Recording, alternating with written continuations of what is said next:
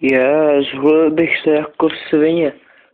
Je, co to tu leží, brko? Mmm, to si dám. Ty krávo, to najíždí do očí, no to je rachot.